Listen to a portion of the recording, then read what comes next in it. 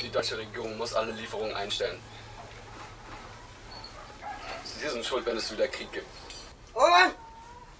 Bitte, helfen Sie uns hier wieder lebend rauszukommen. Stoppen Sie alle Waffenlieferungen. Bitte helfen Sie. Bitte. Bitte helfen Sie uns. Ja, Glückwunsch, meine Herren. Fiona? Quick!